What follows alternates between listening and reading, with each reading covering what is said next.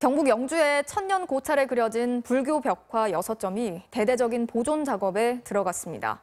어, 일제강점기 벽에서 강제로 떼어져서 심하게 훼손이 됐기 때문인데요. 김미희 기자가 700년 만에 외출을 취재했습니다. 전문 연구사들이 붓에 물을 묻혀가며 조심스럽게 종이를 덧댑니다. 충격을 줄이기 위해 미세한 균열까지 찾아 메꾸는 데만 2주일. 정밀한 보존 작업을 위해 국립문화재연구소로 옮기는 이송 작업입니다.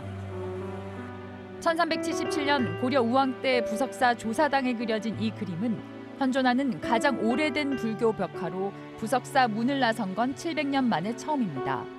현재 많은 벽화들이 역사를 지나오면서 사라졌고 고려시대 벽화로는 부석사 벽화가 지금 유일하게 남아 있습니다. 불법을 수호하는 사천왕과 이들을 거느린 두 보살. 주로 비단에 그려졌던 당시 불화와 달리 흙벽에 그림을 그린 뒤에 채색하는 독특한 프레스코 기법이 사용돼 고려시대 불교 미술의 정수가 그대로 담겨져 있습니다. 마치 비단 위에 그려놓은 고려 불화처럼 어, 유려한 윤곽선과 안정감 있는 조형감, 우아한 채색 등을 통해서 당시 고려 불화의 높은 품격을 느낄 수가 있습니다. 1916년 일본은 법당 수리를 이유로 강제로 그림을 벽에서 떼어내 석고를 발랐습니다.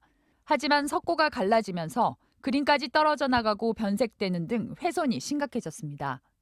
보수 작업을 이유로 일본인들이 콘크리트를 뒤섞어 붙여 오히려 원형이 더 파괴됐던 미륵사지 석탑과 비슷한 상황입니다. 문화재청은 비파계 검사를 통해 벽화의 내부 상태를 정밀 진단한 뒤 알맞은 보존 방안을 마련해 오는 2026년까지 7년간의 보수 작업을 진행할 계획입니다. MBC 뉴스 김미입니다.